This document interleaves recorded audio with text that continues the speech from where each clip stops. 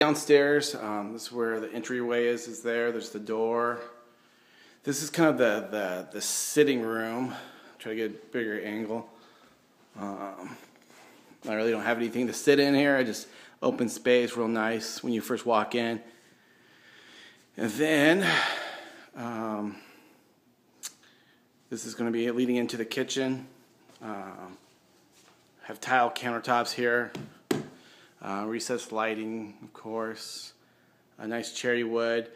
Stainless steel appliances. Um, all this stuff is uh, it's all uh, KitchenAid stuff. Um, so two ovens, mic- built-in microwave there, the oven, the fridge, and also even the dishwasher is KitchenAid.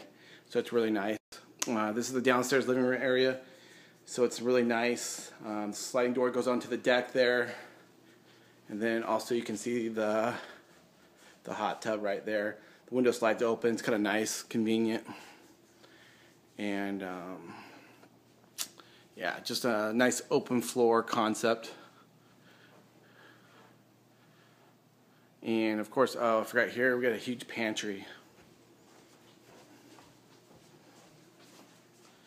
Nice little door pantry. Let's see with light here. So, really big pantry area here. Lots of stuff that you can hold in here. I'm all the way in. And you can kind of see the different levels and just lots. It's really big in here. And then on the first floor here, we have the door that goes downstairs um, with another 1,200 square feet downstairs, the theater room, and mother-in-law apartment. This door goes to the garage,